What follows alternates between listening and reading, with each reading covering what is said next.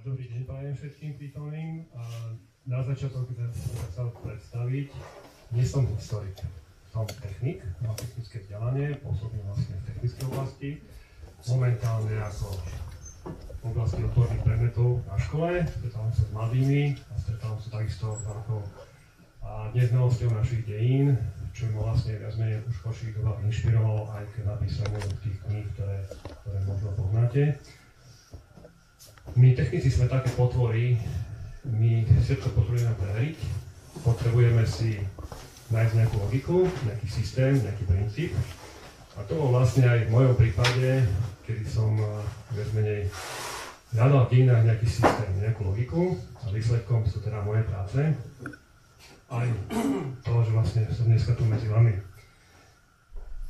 U nás v svete techniky to funguje takým spôsobom, že keď chceme niečo odmerať, vytvoríme si alebo vymyslíme nejaký nástroj, nejakú technológiu, nejaký postup, ako danú vec odmerať a odmeráme ju. Pokiaľ s tým nie sme spokojní, hľadáme iné riešenie, inú technológiu, iný spôsob merania, meráme, odmeráme. Pokiaľ nám vyjde výsledok jednou aj druhou metodou správne, zvyčajne považujeme, že je to pravdepodobne výsledok správny, meracia metóda je správna. Pokiaľ sa nájde niekto iný a nájde tretiu metódu merania na inom fyzikálnom princípe a sa to potvrdí, tak už sa výsledok blíži takmer istote. Ja vo svojich prácach práve dodržam tento náš, našu filozofiu, kedy sa, som sa vždy snažil um, rozličnými metodami, teda rozličných, rozličných sfér oblastí nájsť nejaký prienik. Ako taký základ samozrejme sú historické zdroje, ale je to toponymia, geografia, heraldika, numizmatika a v poslednom čase dosť veľký, aj ako to nazvať, tlak na historiografiu spôsobil vlastne rozvoj genetiky, ktorý nám priniesol rozličné prekvapivé fakty, ktoré sa už nedajú prekrútiť, ako je prekrútená naša história. Oficiálna historiografia, alebo veda historická, na tieto fakty väčšinou nereaguje, a to bol aj taký určitým motorom pre mňa, kedy som sa hľadal a snažil som sa nájsť teda prienik, logiku týchto rozličných sfér a nájsť tú skutočnú podstatu asi ako by to mohlo byť. Dneska s určitosťou teda tvrdiť niečo, že to bolo určite tak je ťažké, ale môžeme sa k tejto pravde priblížiť. A toto sa vlastne týka práve aj nášho pôvodu, našej histórie a s týmto by som sa teda dneska chcel s vami podeliť.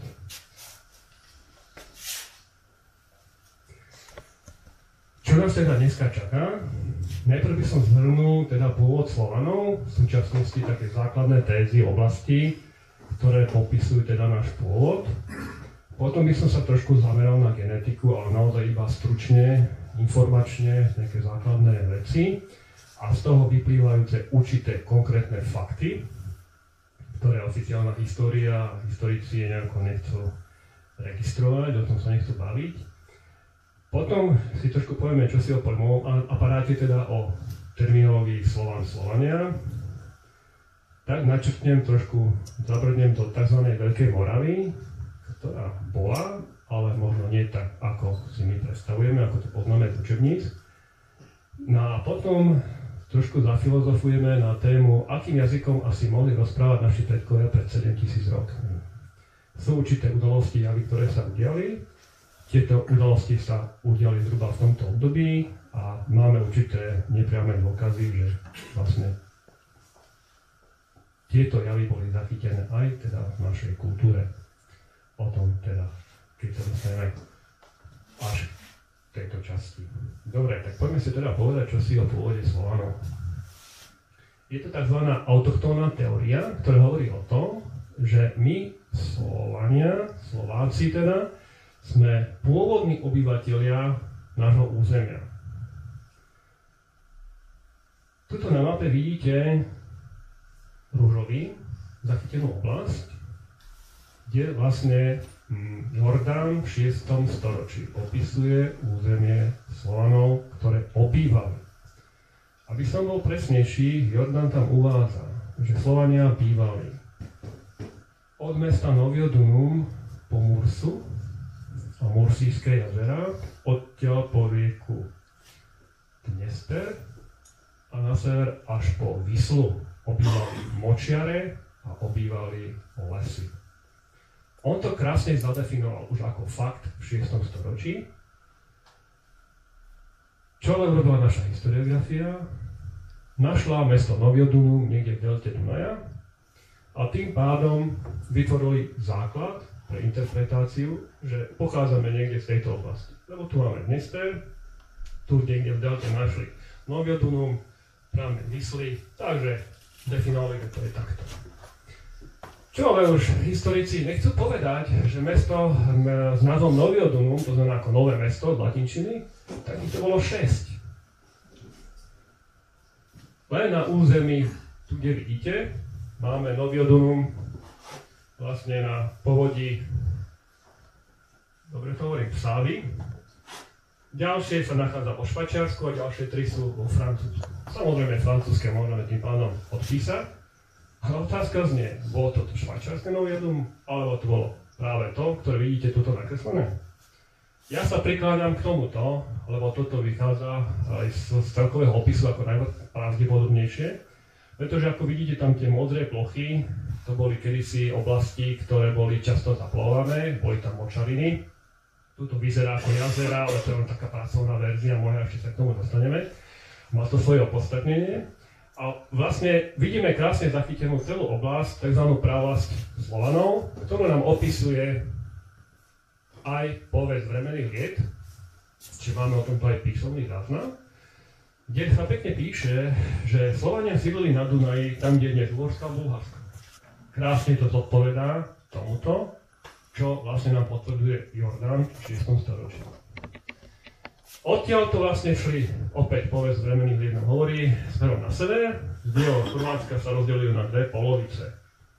Na východ šli Poliaci, od nich vznikli Polania, Mazovčania a tak ďalej.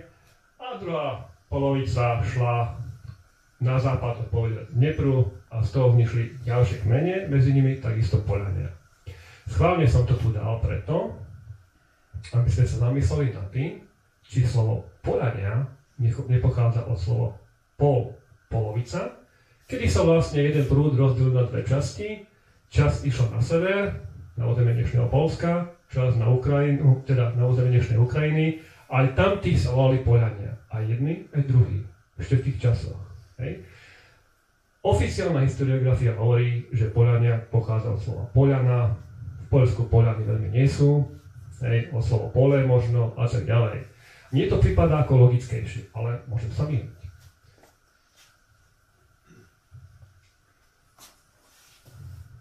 V tejto súvislosti treba ešte spomenúť jednu vec, že zhruba do 18. storočia boli Slovania vnímaní ako naozaj starobilý národ pochádzajúci z čas antiky. A tuto mám výňatok vlastne z britského slovníka z konca 18. storočia, kde sa doslova uvádza popri inom, že meno Sklavonie pochádza od sklavov starovekých ľudí európskej Skytie. Ano. Čiže do toho 18. storočia ešte sme boli, mali nejaké iné povedomie v rámci európskeho poznania potom sa čosi udialo, prišla nejaká ideológia a dneska sa učíme, že pochádzame odkiaľ z pripiačky očiarov. Hej. To je vlastne táto migračná teória, ktorú u nás presadzoval hlavne Nestor slavistiky Lubor, Lubor Niederle a on vlastne viac menej na základe určitých dogiem, ideológie pochádzajúcich z Nemecka, z Francúzska vlastne presadzoval túto verziu. A keď sa dneska opýtate historikov, že prečo práve tam, a tá otázka je oprávnená, pretože naozaj neexistuje jediný písomný zdroj, ktorý by potvrdzoval túto udalosť. Nie je to. A na základe čoho teda sa učí v školách, že sme prišli v 5. 6. storočí, tak vám odpovedia historici asi to, že grécky a rímsky autory nikde nepopísali meno Slav, Slovan, Sklav a tak ďalej. A keďže v tomto období do 5. a 6. storočia sa tento termín nikdy nevyskutoval, To znamená, že museli niekde žiť tam, kde vlastne nemali, uh, územia, ktorého nemali žiadny záznam.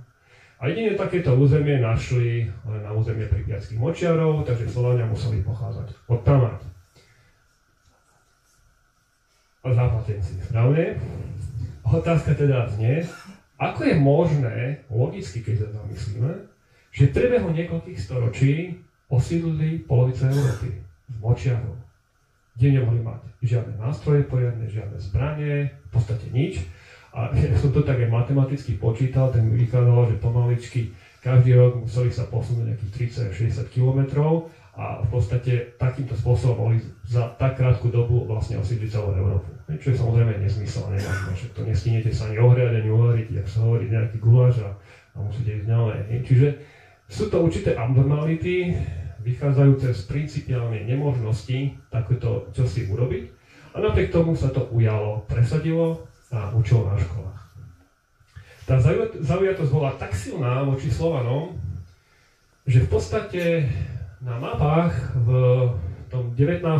a začiatkom 20. storočia sa Slovania nikde nevyskytovali. Tuto mám príklad uh, mapy Williama Sheparda Atlasu z roku 1911, ktorá vlastne opisuje prítomnosť nejakých kmeňov v rámci Európy ktoré sa vyskytovali na území Európy od roku 150 až do roku 1066.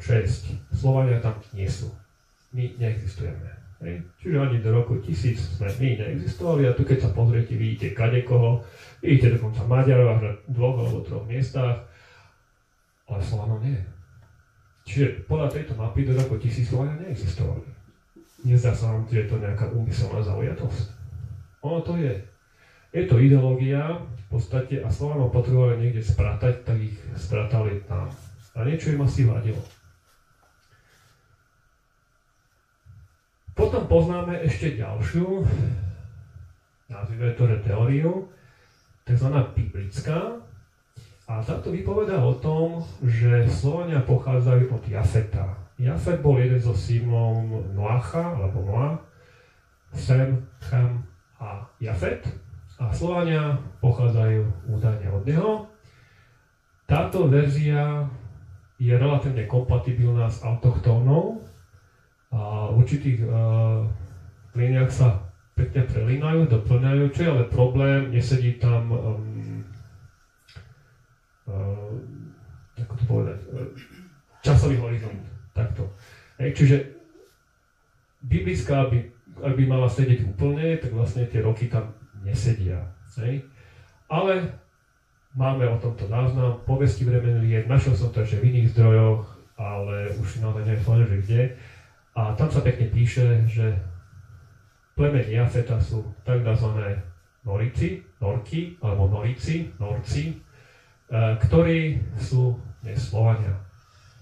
Máme tu opäť ďalšiu informáciu, prepojenie Norci, hej, Norikum bolo na území dnešného Rakúska, východného Rakúska, Norci, ktorí sú vlastne Slovania. Toľko zhruba k teóriám, ktoré v súčasnosti panujú. Ešte možno by bolo zaujímavé dodať, že Slovenská akadémia vied má odbor historický a má odbor jazykovedný alebo jazykový. A oni sú v určitom spore, a jazykový odbor jazykový nevie odpustiť historickému odboru, že presadzujú pôvod Slovanov pritiackých očarov, pretože oni majú iné poznanie. Oni vedia teda, alebo tvrdia, že Slovania sú autochtónni, pretože im to vychádza na základe toponymických názvov. To znamená, samotná Slovenská akadémia vied je v spore medzi sebou, či sme autochtónni, to znamená pôvodní, alebo či sme privadrovalci. Hej ale učí sa verzia, ktorá prišla z Nemecka, to znamená, že sme pochádzame teda z pribiackých močiarov. Poďme sa teda pozrieť trošku naozaj iba expresne na genetiku. Ja sa nesítim byť odborníkom na genetiku, ale určité javy sú nesporné. Budem teda citovať hlavne Klesová,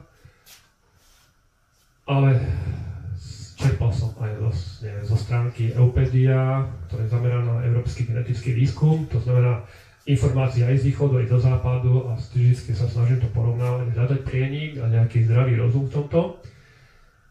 Čo treba teda vedieť?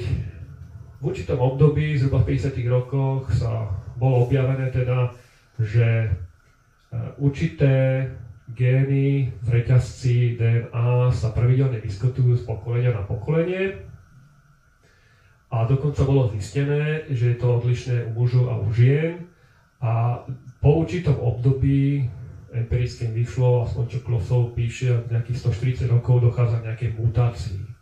Zmení sa jeden uh, gen na iný a tá mutácia sa potom už touto zmenou prenáša na ďalšieho potomka.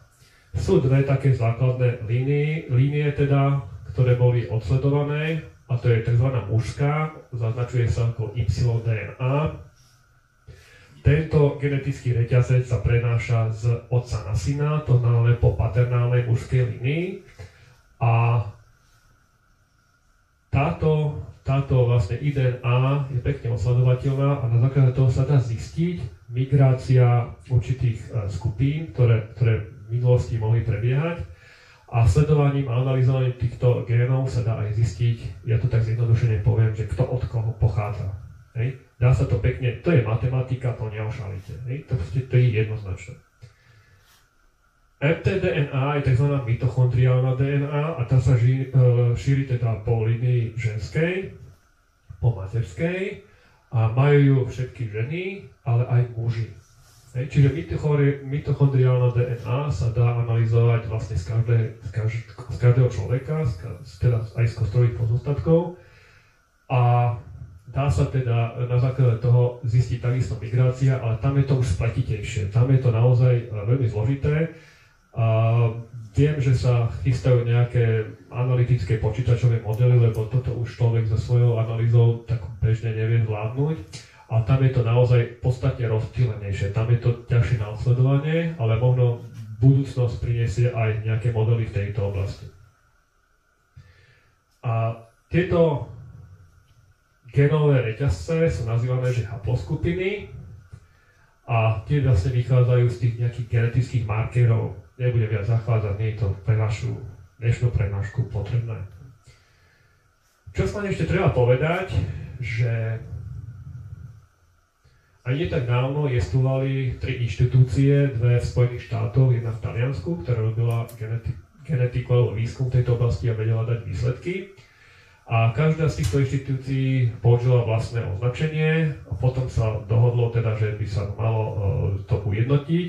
Tak sa dohodli písmena ABCD, v prípade YDNA, aj v prípade mitochondriálnej DNA sú to písmena A až R kde vlastne sú to nejaké základné skupiny, ktoré sú uh, viac menej viditeľné aj čo sa týka vizuálneho nejakého uh, prejavu alebo vizuálneho posúdenia. A um, došlo teda, teda k označeniu tými písmenami, ktoré sú doplňané číslami. Hej? Čiže napríklad R má R1A, 1A a tak ďalej. Čiže vlastne kombinácia písmen a a.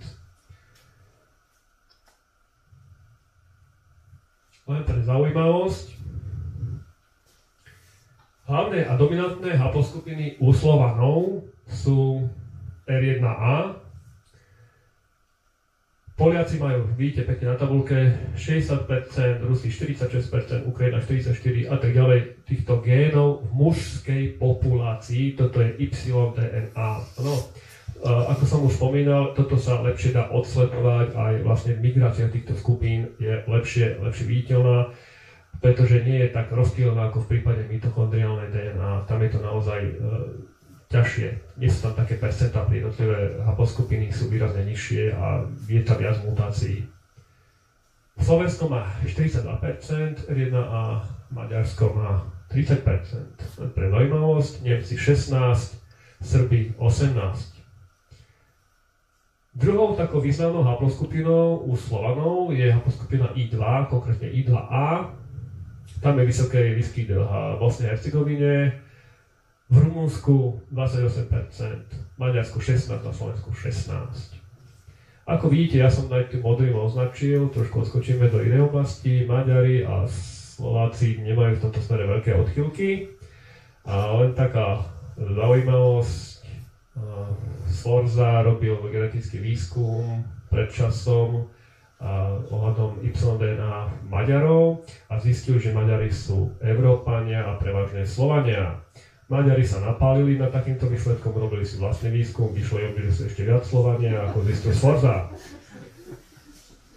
Má to samozrejme svoje pozadie ďalšie, súvisí to vlastne aj tá kniha, súvisí s tým aj tá kniha, ktorú ste mali možnosť vidieť tam na stole, kde sa týmto zaoberám a No podarilo sa mi zozbierať toľko dôkazov exaktných a jednoznačných o tom, že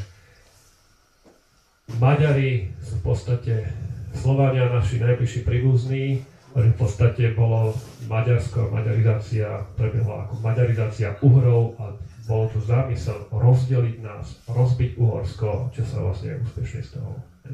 Toto momentálne pokračuje smerom na východ, ale tá technológia sa prenáša len aby sme si vedeli predstaviť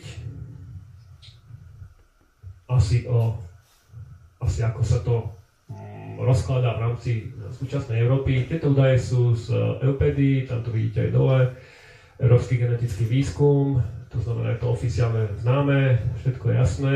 Vidíte tam percentuálny výskyt zhruba, ako sa, ako sa medzi, vyskytuje teda medzi obyvateľstvom Európy a skupina R1A, to znamená tá slovanská. Veľké prekvapenie sú Nory a Švédi, kde je takisto vysoký výskyt R1A a s tým si historici nevedia rady, lebo odkiaľ sa tam dali však. To má tiež svoje pozadie. A samozrejme vidíme teda vysoký výskyt v Polsku, Rusku, aj na Ukrajine a Slovensku. Čím ideme ďalej na západ, tým nám to klesá. Tu treba zdôrazniť, haposkupina R1A je haposkupina a toho, čo sa hovorí, že indoeurópania. Hej? A zároveň druhým dýchom treba povedať, že západné Európania nie sú indoeurópania. Nemajú s Indiou nič spoločné. O chvíľu sa k tomu dostaneme a ešte spomeníme druhú haposkupinu, To je aposkupina I2A, tá sa začala šíriť zhruba v druhom storočí, ako nám hovorí Kloslov, z delty Dunaja. A vlastne v rámci migrácie určitých kmeňových zoskupení sa dostala hlavne teda na Balkán a na Ukrajinu. A vlastne to je tá sarmatizácia, hej, ktorá prebehla a ktorú spomína napríklad aj Tacitus vo svojom diele Germánia. No a poďme na týchto západoeurópanov, to by som znevažil týmto. Toto je vlastne R1P, skupina, ktorá sa takisto vo veľkom množstve vyskytuje v Európe, ale prevažne v západnej Európe, sami to vidíte, aj to percentuálne rozdelenie, najvyššie je vlastne v, pobreží a vo vodách Atlantiku a smerom na východ to pomalečky slabne. Hej. V našich končinách sa pohybuje okolo tých 10, 12, 20 toto som sa priblížiť bližšie trošku. No a poďme na to naše R1A. Toto je vlastne haposkupina R1A. A to som trošku rozšíril aj na Áziu, aby bolo, aby bolo vidieť pekne z tejto mapky, že v Indii sa vyskytuje R1A ešte teda zhruba na takejto úrovni, porovnateľnej úrovni percentuálneho výskytu ako u nás medzi Slovami, kde v určitej oblasti je 60 a viac ako 60, viac ako 50% výskyt. K tomu treba dodať, že sa vyskytuje hlavne u populácie Indie, tej, tej vrchnej vrstvy. Vieme, že tam je kastovníctvo, je to kastovaná spoločnosť a vlastne tých 70% R1 sa vyskytuje práve v tých najvyšších vrstvách kasty, vlastne tých brahmanov. Takže možno povedať, že Indoeurópania je práve možno vzťahovať na vlastne genovú mutáciu R1A, ktorá vlastne je dokázané na základe týchto markerov a haploskupín. Prišla do Indie z ruských rovín, nie naopak. To znamená, neosídlili Indovia Európu, ale naši ľudia osídlili Indiu a priniesli vedickú kultúru. Tie jazyky sú blízke a podobné. Naše slovanské s vedickým jazykom sanskrit. sanskrit. Toto genetika všeobecne je toto známe, toto genetika potvrdzuje, toto vedia na západe aj na východe. Neradi o tom rozprávajú, hlavne západoeurópania, pretože z toho krásne vidieť, vzhľadom na to, že v Indii sa R1b, to znamená západoeurópsky mužský gen, nevyskytuje vôbec, to znamená západoeurópania nemajú s Indoeurópami nič spoločné. Otázka teda znie, ako sa dostali západoeurópania indoeurópskemu jazyku. A tu odpoveď je veľmi jednoduchá. Prevzali to od nás. Hej. To len som si dovolil dať, keď už sme pri tej R1A, zhruba ako sa to R1A šírila v rámci Eurázie a v rámci určitých historických časových sledov. Tie čísla, ktoré vidíte, začína 120 niekde v tejto oblasti, to je hypotetické a prechádza to vlastne prvá línia do Indie, ktorá prišla a zhruba v nejakom 9000 rokov dozadu sa dostala vlastne do Európy. Invázna vlna z Anatólie, z dnešného Turecka. Dostala sa teda do strednej Európy, najprv na Balkán, tak v podstate do Karpatskej kotliny, odkiaľ, odtiaľ šli migrácie smerom v podstate do celej Európy a odtiaľ na ruské roviny a z ruských rovín tie modré, vidíte, išli tri invázne vlny smerom do Anatólie, do Iránu a do Indie. To je tá invázna vlna tých Indoárícov alebo Indoeurópanov, ktorá vlastne sa premiesnila z územia ruských rovín na, do dnešnej Indie, kde vlastne, ako som spomínal, sa vyskytuje ten gen v najvyšších kastách uh, Indie.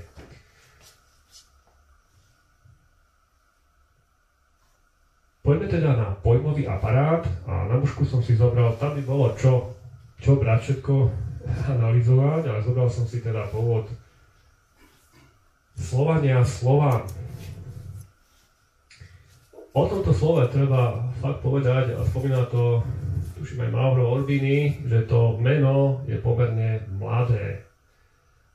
A ak to berieme na vzťahovanie na určité spoločenstvo ľudí rozprávajúcich e, s jedným jazykom. A odkiaľ teda pochádza? Tých interpretácií máme naozaj veľa. Jedna z nich je teda známa a súvisí so slovom, so slávou a s vodou. Slovo, slovan, sláva, slovan a voda, tam je určité prepojenie, to sú tie močiare, a má to samozrejme, samozrejme určité, určité pozadie informačné, ale súvisí to nie s priviackými močiarmi, ale s močiarmi tu, v Karpatskej kotline. Ďalej je tu ďalšia vlastne evokácia a odkiaľ môže teda pochádzať to Slován a súvisí to s pojmom sláviť, kde každých 6 týždňov naši predkovia mali nejaký sviatok keď ho naplnili, ďalších 6 týždňov sa pripravovali ďalších svetok, to znamená neustále slávili čosi. Život žil, žili v podstate v radosti, v šťastí, v sláve, v oslavovaní, až pokiaľ neprišli nejakí najazníci, útočníci, a neboli to útočníci z východu, ale zo západu a z juhu, ktorí vlastne narušili tento náš svet ideálny a vlastne dostali nás do špirály neustáleho otroctva, zotročovania, boja za slobodu a podstate sa to už točí celé generácie. Ako som spomínal, slovo je mladé a ja som takú interpretáciu k tomuto uh, navodzujem teda, že všetky tieto slova, slovo, sláva, ale aj voda musia mať nejaký spoločný koreň a je možné, že to označuje teda našu slávnu rodovú líniu, starú, prastarú, teda je to slovo slávne, ktoré hovorila s nejakým starobilým jazykom, našim jazykom a tam vidíme alebo nachádzame ten pojem slovo. Čiže sláva a slovo v takejto myšlienkovej linii sa prelínajú a dávajú určitú logiku a smerujú nás teda na naozaj našu, našu veľkú starobilosť, ktorá bola slávna. Starobilý pôvod. A toto nové slovo teda nahradilo staré formy pomenovaní, Predpokladám, že sa to stalo práve vtedy, keď už začala tá veľká genocída, keď boli vyvražďované celé územie Európy, našich, našich vlastne bratov, Slovanov. A to meno Slovan pochádza, mnohé aj e, tie slovníky z 18. storočia hovoria, spomínajú tú Sklavoniu, to územie, vlastne, ktoré je dneska Slavonsko, územie, ktoré súvisia, koreluje so slovom Slovensko, Slovenia a viac menej odtiaľto sa to pomenovanie tým, že tu bola tá pravlasť, ako sme už spomínali, tak to pomenovanie z tohoto územia sa premieslo teda na všetkých ostatných Slovanov, ktorých dneska poznáme ako Rusi, Poliaci, Česi a, a tak ďalej. Tie staré formy teda nejaké jestvovali a chvíľučky si ich spomenieme, ale e, v podstate títo obyvateľia žili ešte stále v duchu e, tradícií, udržovali tradičnú kultúru a používali ten svoj jazyk. My vieme už napríklad na príklade Maďarska, Grécka, ale aj Švedska a ďalších krajín, že to šlo k Nemecka, kde došlo odnárodňovaniu systémom, kde bol vlastne jazyk ničený, doslova systematicky a kde to školstvo ako keby vytváralo nové, nové etnika, nové, nové kultúry a sa nahrádzalo novými umelými jazykmi. Hej. O tomto sa takisto dá rozprávať veľmi veľa. A naše predchádzajúce mená sú napríklad Kelti, Mongoli, Skíti, Huni, Avari, Uhri, Tartari, Pečenehy, Germáni, Skíti, Peržania a tak ďalej. A teraz si poviete, toto je. Hej. Historici alebo história nám hovorí, že boli, pre, prebehli tu kadejaké tieto kmene, sa pre nás prehnali, mnohé tu z nich pôsobili desiatky, stovky rokov. A práve genetika nám dáva na toto zaujímavé odpovede, pretože nie sú po nich žiadne pozostatky v oblasti genetiky. A keď zanalizujeme vlastne súčasnú skladbu a, nášho genofondu Slovákov, pretože ak tu naozaj boli nejakí Kelti, Mongoli, nejakí Skyti, Huni, Avari, Uhri a tak ďalej, každý z nich mal mať nejaký špecifický genofón. Bol niekto iný, ako sme my. A ten by tu mal byť. A keď si zanalizujeme náš genofón, ktorý tu máme, zistíme, že tu nevieme, ako sa to mohli ocitnúť. Pretože, ako sme už hovorili, R1A, I2A sú Slovania, alebo majú vlastne vzťah k našim predkom, potom tu máme na našom území výskyt mešemiery haposkupiny I, I1, I2, to je vlastne vetva uh, I2 a táto pochádza z neolitu. To sú neolitici, tomu sa potom neskôr dostaneme, ktorí tu pochádzajú naozaj tisíce rokov, to znamená, neprišli, sú pôvodní. Potom tu máme haposkupinu G, ktorá pochádza zo západného Iránu, opäť prišla sem v neolite takže to nemohli byť žiadni avary. Potom tu máme nejakú E1B, o tom sme hovorili, že je západoeurópska, atlantská, ja som jej priradil, že to boli Rímania. Je to naozaj taký pracovný názov, pretože to by chcelo naozaj hlbšiu analýzu, presnejšiu. A potom tu máme E1B, E1B1B, je to stredomorská, pôvod Afrika, Severná Afrika, odtiaľ sa to vlastne zo stredozemia šírilo k nám. Potom tu máme haposkupinu Je, exaktne jedin, jednoznačne pochádzajúce z Blízkeho východu, prinesené vlastne z období tureckého záboru Uhorska. Obdobne to bola haposkupina T, tá sa tak v minimálnej miere, možno nejakým 1% vyskytuje v našej populácii, opäť turecký zábor. Potom to máme haposkupinu H, to sú naši cigáni, pochádzajúci z Tamil Nadu, z Indie.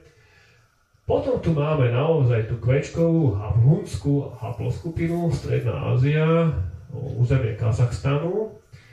Áno, ale k tomu treba povedať aj B, že najväčší výskyt haploskupiny Q je v južnom Francúzsku a vo Švedsku. Okolo 7% miestnej populácie, 57%. Ako sa tam dostali? A prečo je u nás nižšie ako tam? A prečo je v Maďarsku ešte nižšia ako u nás? A prečo napríklad uh, Srby majú vyšší ako Maďari a tak ďalej. A to sú zase také otázky, ktoré ako si opäť nejdu v súlade s tým, čo sa oficiálne hovorí.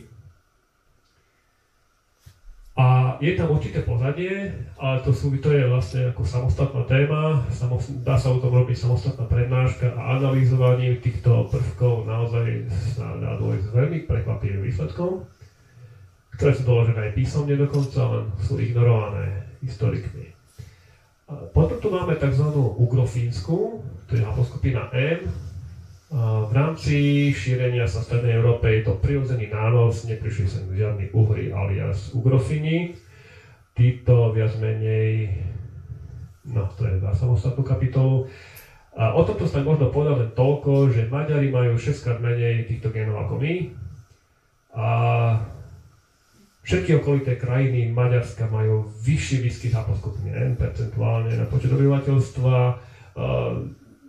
Ukrajinci majú okolo Bielorusi majú 10%, Ukrajinci majú čosi pod 10% a smerom čím bližšie k Fínsku tam to rastie a vo Fínsku je nejakých 60%. Hej. Čiže ja som to nazval, že prirodzený nános, ako sa bola nejaká migrácia v rámci Európy, jednotlivcov, jednotlivých ľudí, tak sa to tak pozvolna šírilo. Hej.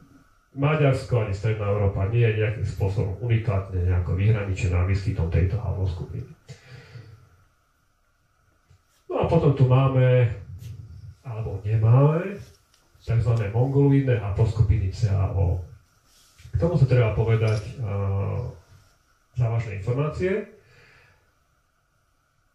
Robili výskum na populácii Mongolska, bol to medzinárodný tím, je to ako oficiálne, dá sa to dohnať, sú výsledky z tohoto a porovnávali uh, kostrové pozostatky z obdobia 2000 rokov dozadu so súčasnými obyvateľmi Mongolska a vyšlo im, že tam je veľký rozdiel, je to zhruba to isté. Dominantné haposkupiny sú CAO, v menšej miere sú haposkupiny R1A, do tých nejakých 5%, zhruba toľko sa tam vyskytuje haposkupina Q. Čiže dominantné sú haposkupiny CAO posledných 2000 rokov. V Európe sa vyskytuje vôbec táto haposkupina, čo si sa vyskytuje v Rusku a tuším v rámci Ruskej federácie tam najviac majú tu Tatári, okolo do 10%. To znamená, ak boli nejakí Mongoli u nás, síce sa len prehnali, ale máme písomné záznamy o tom, že tu znasilňovali ženy, že tu nechávali svoj genofond, prečo sa vlastne táto skupina nevyskytuje na území Slovenska. A v Rusku údajne boli nejakých 200 rokov. Tam to takisto nie.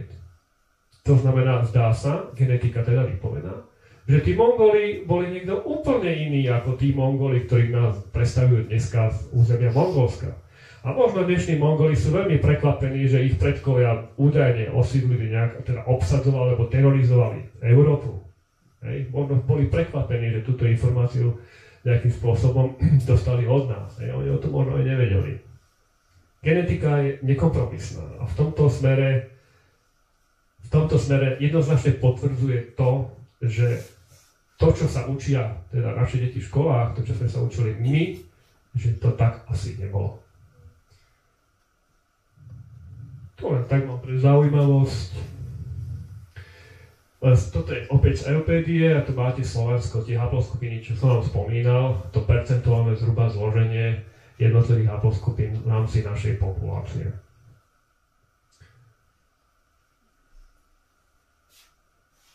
Ešte možno spomenúť, Mavro Orbini, bola vydaná vlastne aj kniha, tuto Miloš vydal knihu, Mauro Orbini a tam sa to pekne píše, že v podstate tieto kmene, germánske, keltské a tak ďalej, že to boli Slovania.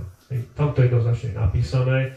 A oni tohoto autora, historiografia, ignoruje a zaradzujú ho do nejakej aj neviem, jak to nazývajú, akože proste nejaké, že to si vymýšľal a proste, že panslavizmus a niečo podobné, hej. Čiže a, veda to ignoruje, aký je to zdroj pomerne starý, citujú iné a z tých iných citujú len to, čo im pasuje.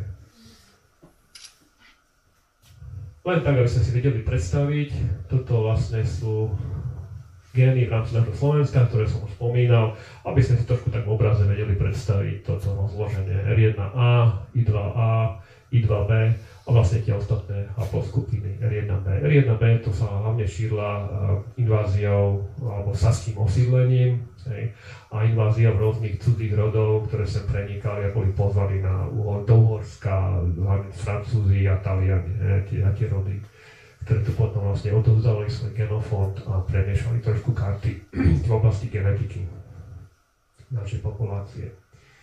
Dobre, Teraz by som sa zameral na tzv. Veľkú Moravu. My máme takúto predstavu, že Veľká Morava to bolo nejaké Svetopluk, Mojmír a tak ďalej. Ale to až tak nebolo. Totiž Veľká Morava sa vyskytuje len v jednom zdroji, spomína to Porfirodet a opisuje úplne iné územie, ako my sa učíme v školách. Doslova to exaktne opisuje, exaktne sú tam opísané povodia riek, ku ktorým sa to teda vzťahuje. A na to by sme vedeli teda, čo tá Veľká Morava bola, by sme mali teda vedieť, čo je Morava.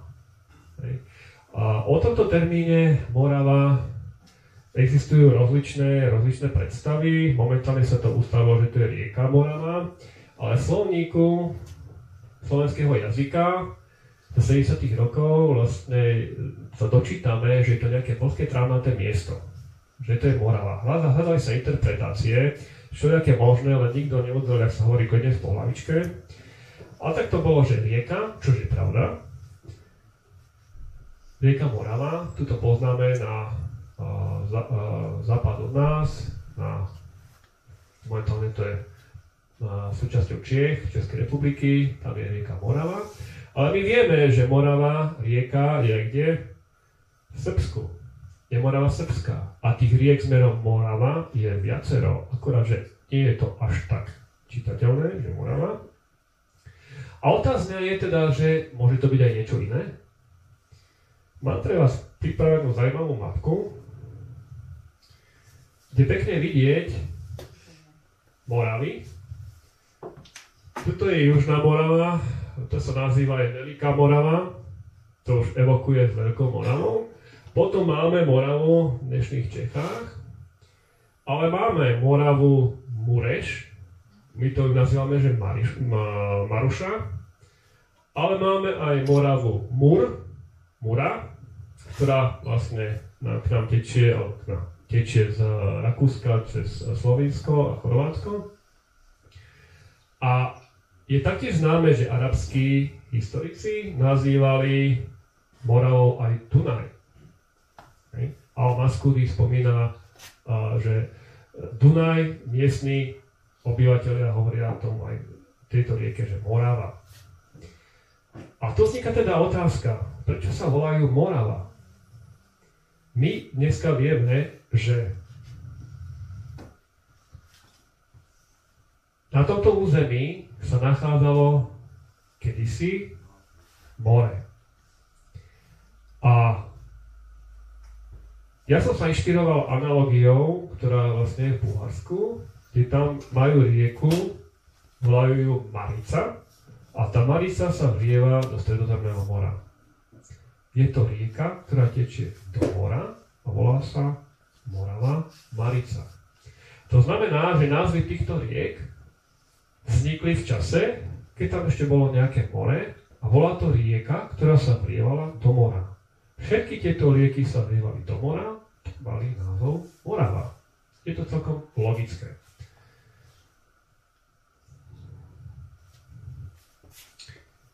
O tomto, že tam bolo more, dneska nikto nepochybuje. To tam naozaj bolo. Máme dochované rozsiahle pieštité štepy s, rubi, e, stepy s hrubými vrstvami usadeného piesku 340 metrov. Máme obrovské sanopieštice, e, e, územia, kde je veľa soli v pôde, sa, e, sú tu slanopieštité stepy, panvy, slaniska, tej soli je všade, v tej karpatskej kotline. Je to pozostatok bývalého mora. A dokonca máme ešte aj Neziderské jazero, ktoré samo je slané. Má miernu salinitu, je to ešte pozostatok z tohoto mora. To more tu bolo, o tomto nikto nepochybuje, čo sa vlastne uvádza, že to more vyschlo dávno, dávno, dávno. Sú tam veľa, e, kde sú tam čísla s množstvom 0, 70 tisíc rokov a, a, a vyššie. Hej. Lenže naši predkovia tento údaj zaznamenali. Zaznamenali to v názvoch riek, ktoré sa vlievali do mora, preto boli nazvané Morava. A toto pobrežie Moravy, keďže tu bola naša pravlasť, medzi morím, nejaké širšie pobrežie Istra, to je tá zem bulharská, ktorú nadviažem teda späť, čo z, uh, spomína povedz uh, remených vied, bolo pravasťou Slovanov. Čiže okolo toho mora žili naši predkovia, mohli sa nazývať Moravania a zaznamenali, teda v toponymii v názvoch riek Morava, zaznamenali tú udalosť, že to more tam ešte bolo. Chorváti dokonca objavili vo výške, na norskej výške 140 metrov, na úrovni 50 metrov vyššie ako je hladina rieky Sáva, na dvoch miestach objavili takéto kruhy, ktoré slúžili na privezovanie lodí. To znamená, že to nemôže byť nejakých, nejaké tisíce rokov dozadu, 70 tisíc a viac, ale že to more je naozaj reálne v minulosti, to, kam siaha, sa to tak, že pamäť národa. A pamäť národa naozaj pamätá. Ja som tu nakreslil, zobrazil hypotetické more, ako asi mohlo vyzerať. E, vzal som jednoduchý údaj nadmorskú výšku a v určitej nadmorskej výške som nakreslil takúto, takéto more. Zodpovedá to zhruba, tam sú aj boli nejaké ostrovy, zhruba to zhruba osídleniu ešte pred neolitom. A takto to nejako mohlo vyzerať. Mohlo. Samozrejme, tie pobreže mohli byť e, vyššie alebo ďalejšie e, k brehu, ale takto nejako bola tá zem Slovenska. Vidíte, že e, viac menej to kopíruje, kopíruje to Uhorsko a prelína sa trošku aj do toho Bulharska. S panorámy tuto krásne vidno, ako vlastne okolo sú tie hory a v strede sa nachádzalo to more. Tu je to vlastne mapka, kde je zlúčená vlastne tá teória o autochtónnosti, o pôvode s tou biblickou, kde tu vidíte vpravo dole Jafet R1A, to znamená príchod haploskupiny R1A alebo nositeľov tejto haploskupiny našich predkov do, na Balkán, kde vznikajú kultúry, kde vznikajú kultúry, tento príchod sa datuje teda zhruba oficiálne, genetici to tak akože stanovujú na základe tých, tých markerov nejakých uh, 6300 pred našim letopočtom, čiže zhruba tých 9000 rokov dozadu. A vlastne v tomto období vznikajú na území Strednej Európy a Balkánu najprv kultúra Starčevo, Koros Kríž, v ktorej sa vyvíjajú ďalšie kultúry. A čo je zaujímavé, viac menej vzniká tzv. kultúra lineárnej keramiky a tá, na, e, tu dochádza vlastne ako keby oddeleniu a časť sa šíri touto vetvou a potom vzniká tzv. východná alebo kultúra východnej lineárnej keramiky, tam vidíte vlastne obdobia, zhruba ako období to prebiehalo ako keby čosi obchádzali, ako keby tu čosi v tom čase ešte bolo. Hej. Pravdepodobne more to už nebolo, ale určite tam boli rozsiahle e, bažiny a množstvo jazvier a, a vlastne e, veľa terénu, ktoré bolo neprechodného. A vlastne tu aj sa nachádzala v tejto oblasti kultúra Vinča, o ktorej ste možno už počuli, a kde sa viac menej objavujú prvé náznaky písma a prvé písmo tisíc rokov pred písmami používaných vlastne v Sumere, alebo Babylone. Čiže vlastne vidíme tu určitý kultúrny predpoklad.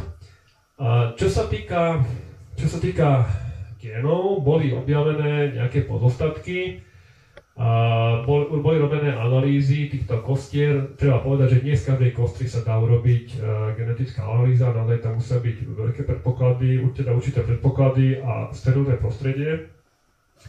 A boli urobené teda mužské aj ženské analýzy teda tých e, genových e, haploskupín.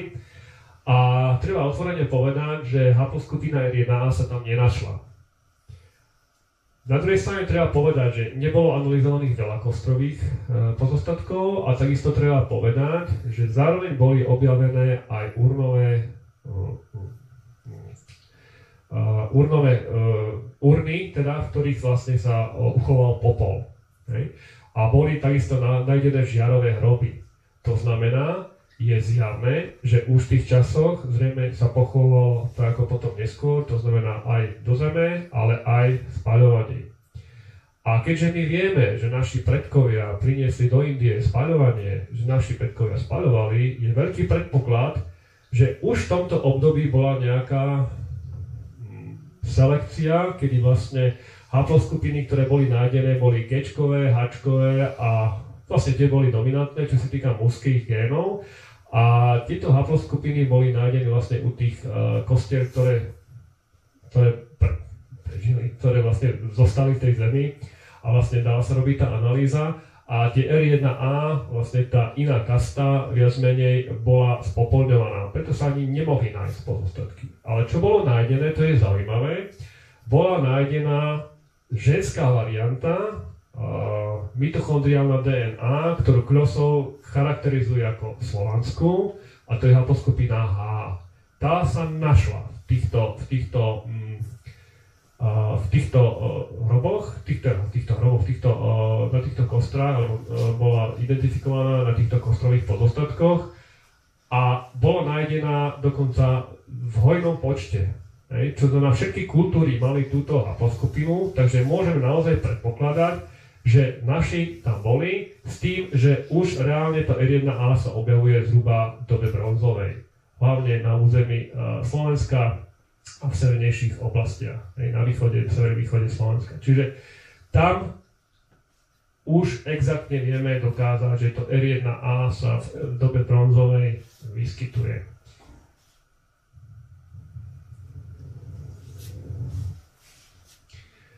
To len také zhodnotenie, že vlastne, čo som už povedal, že tam jestvovala naozaj historická nejaká prírodná prekážka v tomto období Otázka teda znie, že kde a kedy sa stratilo more.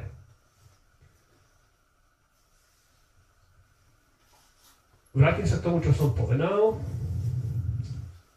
Na území Slovenska zachovalo veľa povestí o vyliatí mytologického jazera. Je to viazané väčšinou na územie Turca.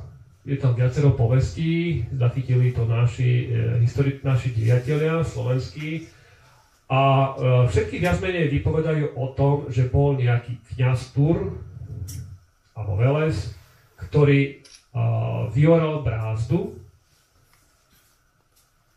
Bolo teda bolo nejaké jazero, vyoral brázdu, voda vytekla a panna zakliata v tomto jazere bola oslobodená. Hej. A vlastne taký vyvrcholením toho, že vzniká nový svet. Tieto Povesti o vyliati mytologického jazera sa vyskytujú nielen na území Slovenska, ale takisto na území Slovenska, Ukrajiny, dokonca aj v Pomoransku. Tam sa to mohlo dovie, teda priniesť tou migráciou, ale v podstate si treba uvedomiť, že sa vyskytuje v slovanských krajinách, ktoré ako keby že obklopujú to územie bývalého, bývalého mora. Ja to nazývam, že Veľká Morava, lebo to tomu naozaj prináleží, lebo to more, Morava a viac menej opisujú to isté. To znamená jazero, ktoré je uväznená panna, potom vyoranie brázdy, vytečenie jazera a vznik nového sveta. Možno, že na Turci bolo niečo podobné, ja to nevylučujem, ale je to krásne, krásne opísanie toho, ako sa mohlo viac menej tá veľká Morava, to veľké jazero, to more, ako mohlo sa stratiť v pomerne krátkom období a čo je takisto zaujímavé na tom, tieto sa vyskytujú tieto povesti aj na, e, teda v Slovensku. To znamená, opäť je to územie, ktoré hraničilo s týmto morom, alebo kde bolo pobrežie tohoto mora, čo je teda logické, že teda táto povesť sa tam zachovala. Táto povesť vypoveda o mnohom a Treba si ešte povedať ďalšiu vec, že pozasadky toho mora siahajú takmer až do súčasnosti.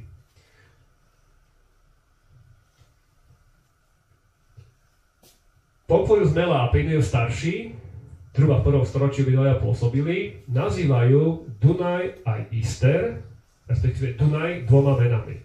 Zhruba do polovice nazývajú Dunajom alebo Danuvius a zhruba od polovice dole nazývajú Istrom očividne, ako keby tam bola nejaká prekážka medzi týmto. Hej? Čiže už jestovanie dvoch názvov pre jednu rieku je, znie tak trošku divne. Hej? A Ister bol jedným z týchto autorov nazývaný aj Hister. Prídychom H, čiže Hister.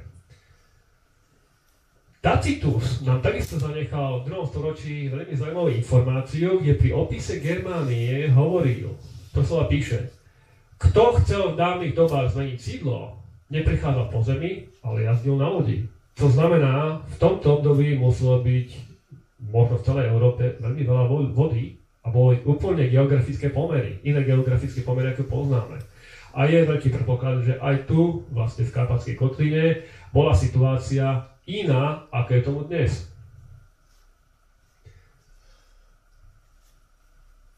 Jordán, ktoré som už spomínal, v 6. storočí nám doslova píše. Ja už som to viac menej parafrazoval a teraz to prečítam konkrétne, ako nám uvádza. Územie sklavov začína od mesta Noviodunum a od Mursijského jazera a tiahne sa až k Dnestru, na severe potom až k Vysle. Miesto miest majú tieto kmene bývaniu bariny a lesy. Čiže on to jednoznačne opisuje, že tu boli močiare, boli tu bariny.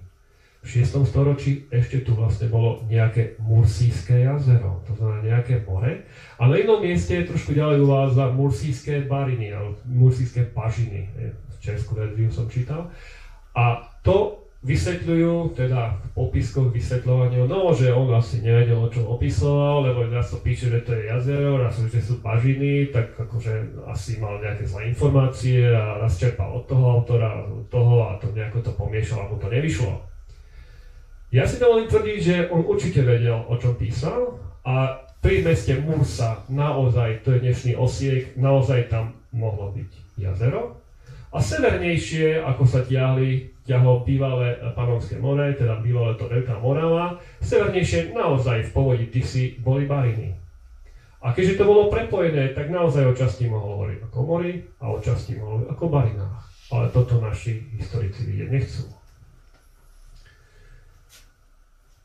Samozrejme aj Mura Mureš, to, že sú tie názvy, teda sú tie uh, rieky ako keby oproti sebe, môžu vypovedať o tom, že v tom určitom období, ako keby to bolo v týchto odlišných názvov od dvoch uh, názvov um, Morava, Srbská a Morava, nazvem to, že Česká, asi neveľmi správne, majú odlišnú trošku uh, um, odlišný tvar slova alebo základ, že je tam to U, že to nie je tam O, že Mora, Morava alebo Moreš. A tiež môžem vypovedať o tom, že ako prebiehalo teda ako bol priebeh toho vytekania a že ešte v čase, v tomto období, ešte boli súčasťou tej Murávy, hej, tých, tohoto Mursijského jazera. Hej, čo znamená, že ešte sa vlievali práve do toho Mursijského jazera v 6. storočí. Dunaj, eh, teda Dunaj, uh, Dunaj um, Morava, Česká, Morava, Srbská už viac menej sa nevlie, nevlievali už priamo do toho mora, už tam bol Dunaj a Ister. A tu pri týchto pri takomto výklade mi napadla jedna kacírska myšlienka. Ja viem, že sa prezentuje, že história niekým, že to je históra, hej, ale možno, že práve to bolo taká veľká udalosť, vytečenie toho histra, ako sme hovorili, to je tá dolná časť dnešného Dunaja, presne zhruba od tých železných vrát dnešných, kde je tá priehrada, a v podstate už do ústia, kde uh, ústí teda Dunaj do Čierneho mora.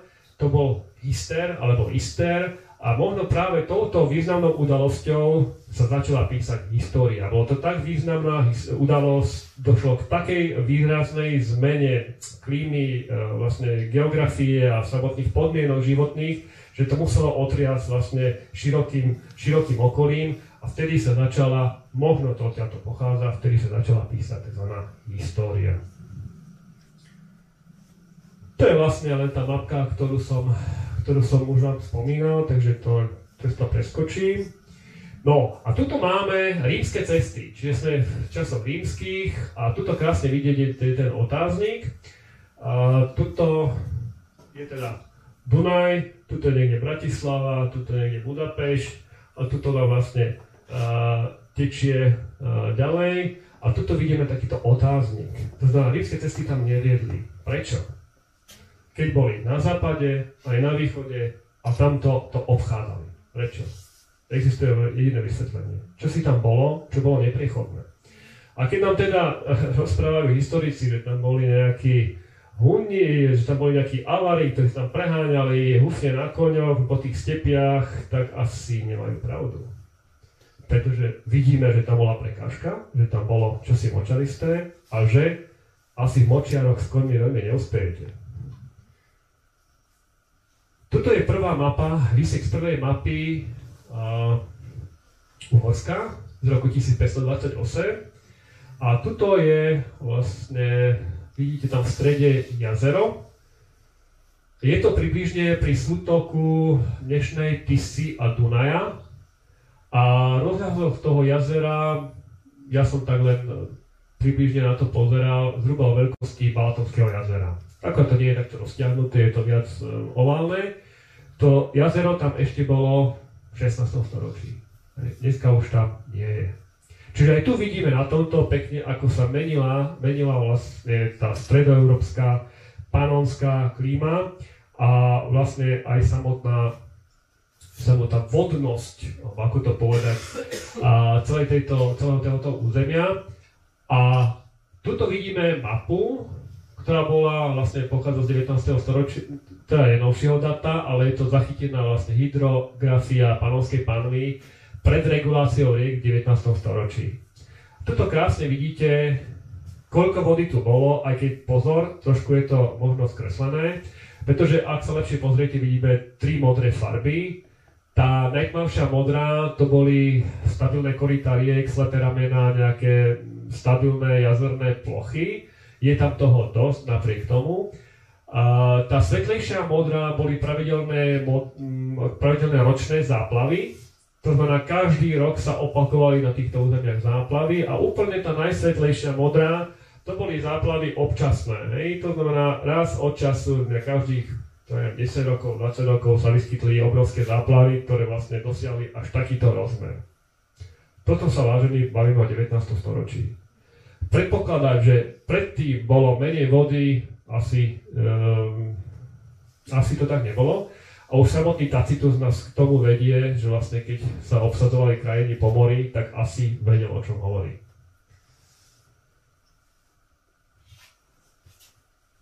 Na základe týchto faktov, ktoré som, uh, ktoré som vám predložil, som, sa do, som si dovolil vlastne sa pohrať teda trošku s uh, myšlienkou, teda akým jazykom rozprávali naši predkovia pred 7000 rokmi.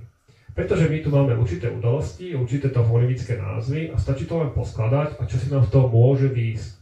A môžeme to robiť teda spoločne a skúsme sa nad tým zamyslieť.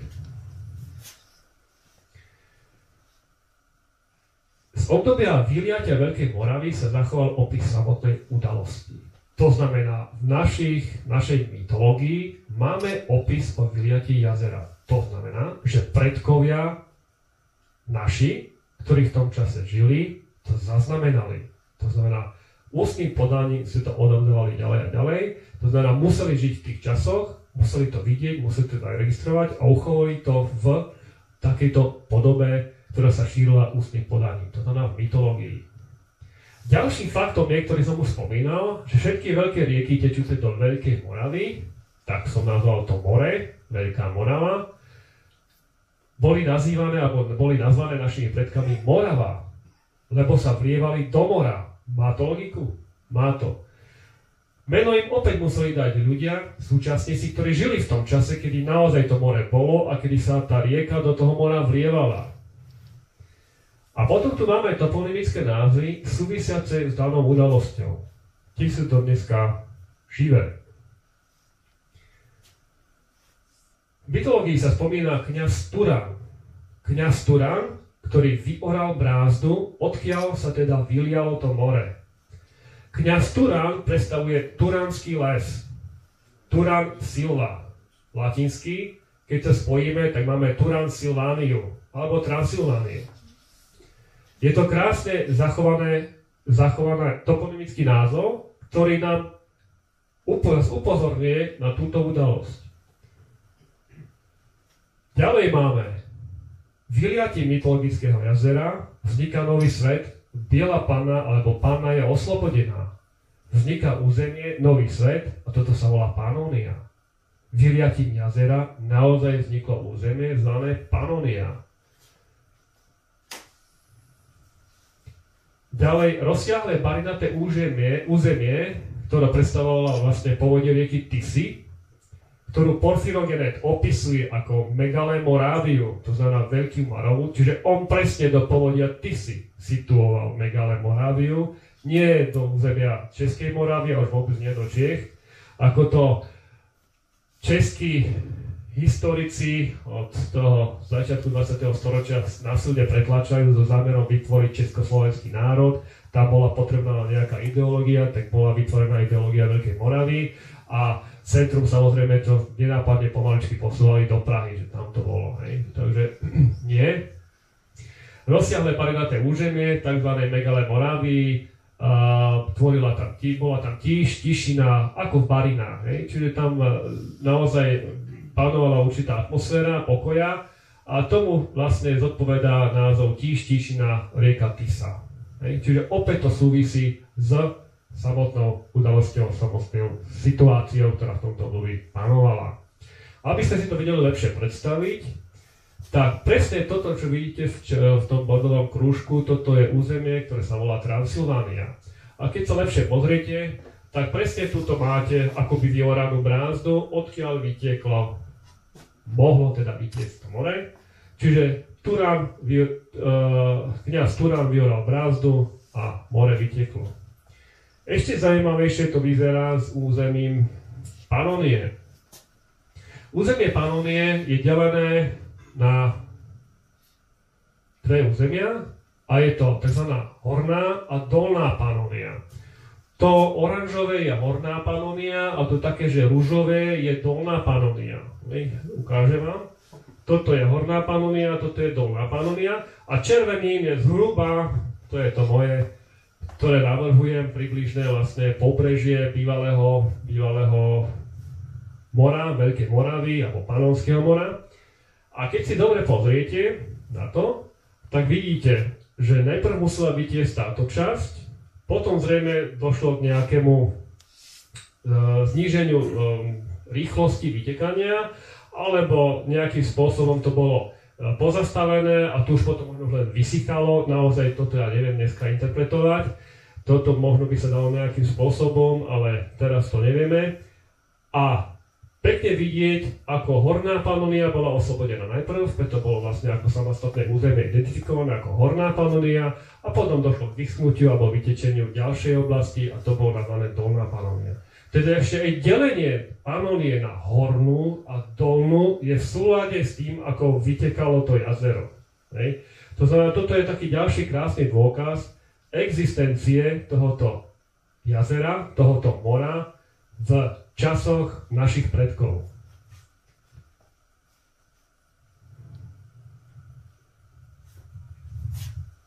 Akým jazykom teda rozprávali naši predkovia? Samotné toponymické prvky, ktoré boli spomenuté, Morava, Panónia, vlastne sú v súlade s našim dnešným jazykom. Čiže my môžeme si dovoliť drzo povedať, že v tom čase na území Karpatskej kotliny, neskôršom Uhorsku, naozaj boli používané slovenské nárečia, pretože sú zachytené tieto naše slova v toponymických názvoch ktoré sú, dostali pomenovanie z období, kedy vznikla táto udalosť. Ak to naši historici kladú do takej ďalekej doby, tak potom v tejto ďalekej dobe naši predkovia tu boli. Ja si osobne myslím, že história je trošku natiahnutá, že to nebolo až tak dávno, ale držím sa oficiálnej uh, historiografie, oficiálneho časového sledu a podľa tohoto teda je to tých zhruba 7000 rokov, k tomuto treba ešte poznamenať, že slovenské nárečia sú zachytené v toponymii minimálne do stredoveku. Jan Stanislav o tom zanechal dve hrubé knihy, a, ktoré mali dokonca aj v tomto po tzv. revolučnom období problém, že by boli vytlačené, že by boli vydané a tam krásne zachytáva, že do zhruba 15. storočia celé územie Uhorska, teda prevažne Slovensko, dnešné Maďarsko, malo slovenské názvy. Dedín, miest, vrchov, pohorí, lúk, poli, všetko. Všetko malo slovenské názvy. Maďarské názvy neexistovali.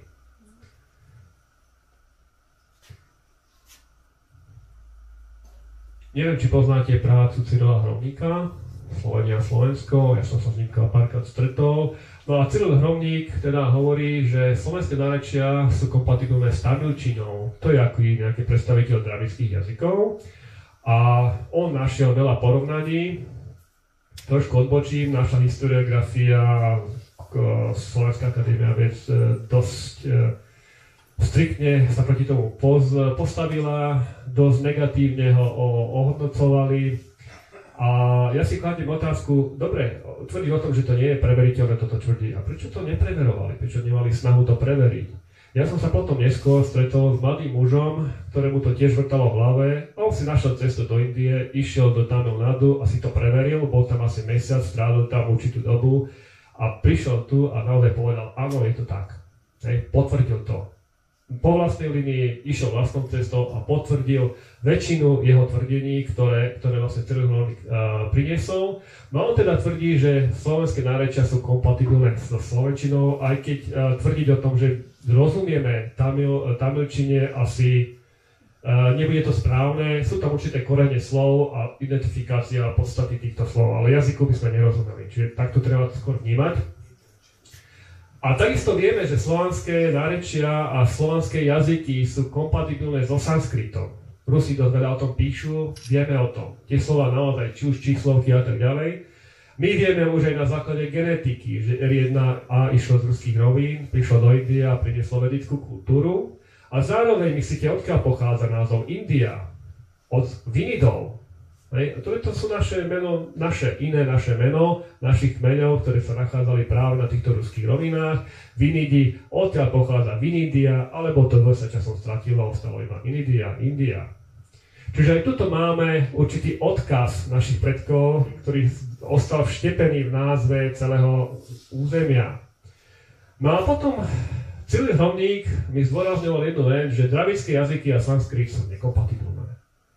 A z toho si vieme opäť čo si vyvodiť, keď sa vrátime k tej mapke, ktorú som vám ukazoval, ako sa šírilo R1A, to znamená, odiš, uh, prišla prvá vlna do Indie, tak to išlo smerom do Európy a tak sa vlastne cez úzruské roviny vlátila druhá vlna. To bola to vlastne ten sanskrit a tá vedická kultúra a ten pôvodný jazyk, ktorý tam bol, už sa vlastne tak odchýlil od tej pôvodnej matrice, že už vlastne tieto, tento nový vedický a starý ten dravický jazyk už boli nekompatibilné a tým mostom bola práve vlastne stredoeurópske slovanské, slovanské nárečia, ktoré sú vlastne do dneska kompatibilné aj s jedným, aj s druhým. Má to opäť svoju logiku, či to je naozaj tak, to ja ne, nechcem tvrdiť, ale Cyril Hrobník v tomto smere naozaj urobil veľkú, veľký kus práce. Tu je snáď ešte tá migrácia z tých, uh, asi ako mohla prebiehať, vlastne tých, tých áriov. Krosov používa terminológiu, že árii, to je v ruštine, my používame, že árici.